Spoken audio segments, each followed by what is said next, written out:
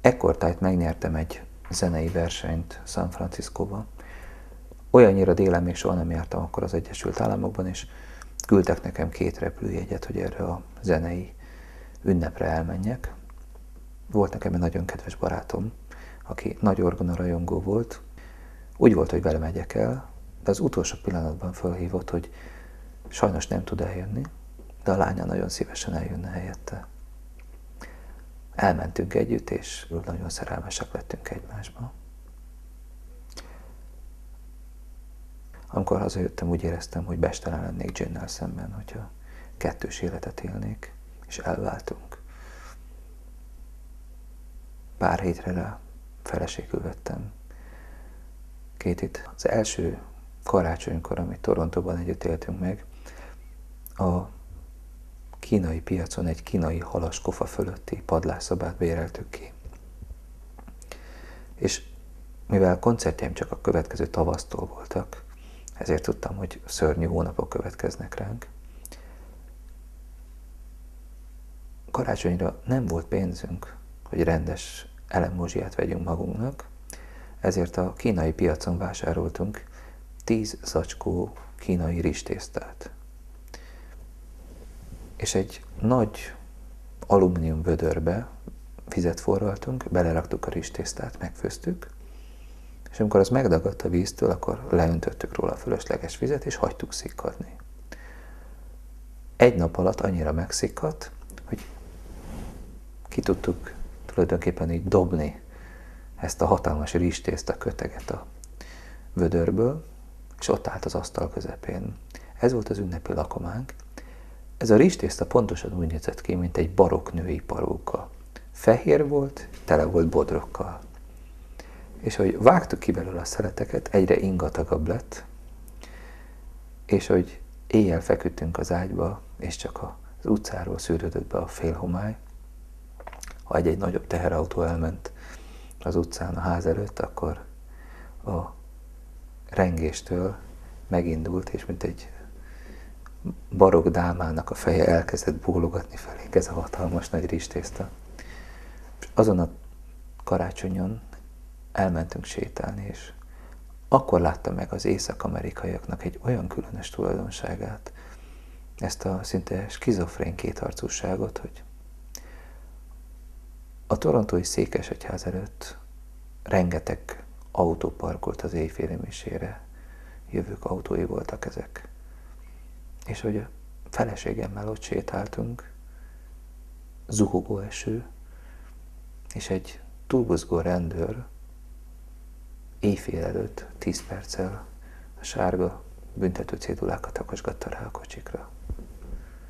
És egyszer csak a feleségem oda ment hozzá, és megkérdezte, hogy Uram, nem szégyeli magát, hogy még a szeretet ünnepén is bosszúságot okoz az embereknek? És a nagy darab néger rendőr ránézett, és valami gyerekkori sebb föltépődhetett benne, mert egyszerre csak elkezdett sírni, és mint egy eszelős visszafutott a kocsikra, mindegyikről kitépte a sárga papírt, és elfutott az utcasarkon. Nem sokkal később megszületett Nikolas, a kisebbik fiam, és mivel Toronto túl drága volt, elhatároztuk, hogy elköltözünk falura. Quebec tartományban Montrealtól másfél óra autózásra találtunk egy pici, kis sí paradicsomot. Egy hihetetlen, mélyvízű, csodálatos tó, az Arsambo tó, hatalmas sziklás és havas hegyekkel körülölelve. Nagyon olcsón házhoz jutottunk, és ott kezdtünk el élni. Életem egyik legnyugodtabb időszaka volt, mert először engedhettem meg magamnak, bár sok pénzünk nem volt, de erre még futotta, hogy legyen egy házi orvonám, és egész nap gyakoroltam. A feleségem közben Montrealba járt egyetemre. És ezért hetente háromszor nekem kellett vigyázni a kisfiamra. Rögtön az egyetem kezdetekor, amikor a feleségem kitette a lábát az ajtón, Nikolász elkezdett torka szakadtából üvöltözni. Két óra múlva azt gondoltam, hogy eljött az idő, ezzel a gyerekkel lesz, ami lesz, én most leszúrom magam, mert egyszerűen ezt nem bírom elviselni, kezelhetetlen számomra ez a helyzet. Gyakorolni nem tudtam, olvasni nem tudtam, az egész világ egy merő gyerek üvöltözésé alakult át. Rápillantottam a tévére, és éppen egy indiai úti film ment benne. És hirtelen elgondolkodtam. És azt mondtam, hogy kipróbálok még az öngyilkosságom előtt egy utolsó módszert. A gyerekszoba a ház legnaposabb oldalán volt. Délután ömlött be a napfény, és igaz, hogy kint mínusz 40 fok volt, bent kellemes, meleg.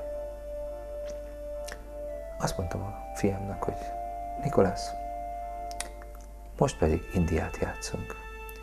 A nappaliban voltak hatalmas nagy cserében álló pálmák, ezeket mind betoltam a szobájába, majd teljesen levetköztettem, csak a pelenkája maradt rajta, és utána föltekertem a szobának a hőfok szabályzóját 38 fokra. Ugyanis néhány perccel korábban mondták, hogy Indiában ilyen a napi hőmérséklet. És rácsos ágyába beraktam üvegeket, mindenfajta italokkal, mert inni már tudott magába is. Pár perc múlva igazi, kellemes, trópusi hőség árasztotta a szobát, a napfény ezt még hitelesítette. Nikolász egyszer csak elkezdett mosolyogni, abba hagyta a sírást, majd körülbelül öt perc múlva elaludt. Onnantól másfél-két óránként egy picit fölnézett, rám nézett, mosolygott, megfogta az egyik üveget, kiitta a tartalmát és aludt. Tehát gyakorlatilag sikerült egy indiai bölcs módjára átvészelni ezt a pár napot. Mielőtt megérkezett a feleségem, újra letekertem a hő, hőszabályzót, megint visszaöltöztettem. Abban a percben, hogy a feleségem megérkezett és kinyitott az ajtót, Nikolász már torkaszagatából üvöltözött, úgyhogy soha nem derült ki, hogy valójában itt volt a kettő között egy békebeli csodálatos párnap. Egyik nap a tévében, két fogpaszta reklám között, mindez Kanadában, Magyarországtól 7000 kilométerre, az esti híradóban föltűnt Szűrös Mátyás a Pesti Parlament erkéjén is kikiáltotta a Magyar Köztársaságot. És a CBC szerkesztői még csak le se fordították a szavait, mintha átérezték volna, hogy ez a gesztus, ez hány százezer emigránsnak szól. Fantasztikus dolog volt annyi év után megint csak látni Magyarországot, és ráadásul teljesen más valójában mutatkozott ez az ország, mint amikor elmentem innen. 89 legvégén a Zeneakadémián Elekes Zsuzsa, a kitűnő fiatal orgonaművész koncertezett. A városban mindenhol kint voltak a plakátjai, és kíváncsian vártam a hangversenyt. Amikor én elmentem Magyarországról, az orgona koncert sikerműfaj volt. Mindig tömegek voltak orgona versenyeken. A legnépszerűbb hangszer volt talán akkoriban az orgona. A Zeneakadémián velem együtt 18-an hallgattuk Eleke Zsuzsa csodálatos orgonajátékát. És akkor megéreztem, vagy megértettem valamit, hogy tulajdonképpen az orgonának az egykori népszerűség az nem a hangszernek szólt. Zongora koncertre az emberek régen is mindig úgy mentek el, hogy elmegyünk Fischer Anét meghallgatni, vagy elmegyünk Becker Mihályt meghallgatni, vagy elmegyünk Horovicot meghallgatni. De orgonára csak úgy elmentek. Az akkori megmerevedett világnézettel és világképpel szemben a lázadás egy csöndesen eltűrt formája volt, ha az emberek orgona koncerten jártak. Egy olyan ideológiailag elzárt világba, ami újszerű volt nekik, a templomok közege. 89-ben minden szabad lett, és ez el is vitte a dolgok varázsát. Nem jártak tovább az emberek orgona versenyekre. Annyira lehangolt engem ez a kép, hogy elhatároztam visszamegyek Kanadába. De volt még egy ígéretem, hogy április 20-án a Budapesti Egyetemi Templomban adok egy hangversenyt. Volt egy klub az október 6-a utcában, mivel minden este elmentem, ezt Játszint klubnak hívták.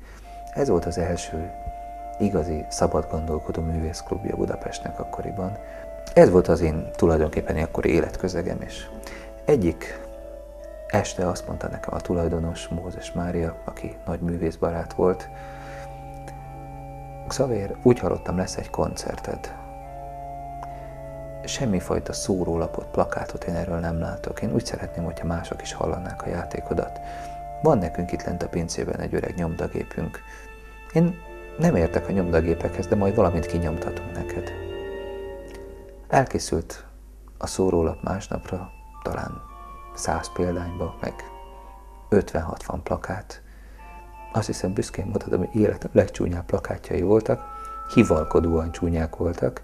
Tulajdonképpen mivel túlömlött a nyomda gépen a festék, ezért bár hivatalosan csak annyit kellett volna rányomni a plakátra nagy vörös betűkkel, hogy Bach, de valahogy túl folyt, úgyhogy a Bach az egy ilyen nagy vörös foltba ékelődött bele. Lehetett olvasni, hogy Bach, de az egész piros volt.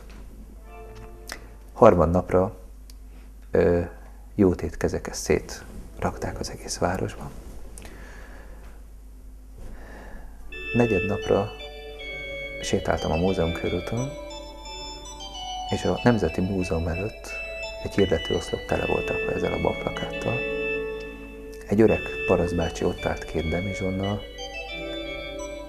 dühötten nézte a plakátot, járkált a hirdetőoszlop körül, és egyszer csak azt mondta, hogy ez a rohadt bak, minden tele van vele ragasztva. A fene fog erre a sok vörösre szavazni. Eltelt két hét, jött a koncert napja. Az egyetemi templomban este 6 órakor mise volt. 30 öreg hölgy volt rajta. A mise végén hazamentek, teljesen egyedül maradtam a templomban. Gyönyörű volt kint az idő, Három hétkor üres a templom. A sekles és megkérdezte, hogy bezárja a templomot, mert ide ember nem fog jönni. Mondtam, hogy tessék még egy kicsit nyitva tartani. Három hét után egy-két perccel megérkezett Kistétényi Melinda, az anyukám meg az öcsém. Gondoltam, hogy nem éppen rossz mulatság föl.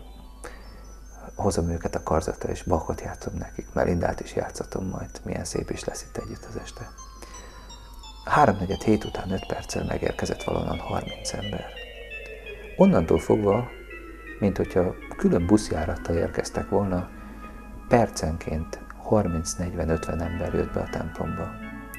Hét óra után két perccel a seklestés kétségbeesve jött fel, hogy már minden ülőhely elfogyott, és az állóhelyek is jó részben.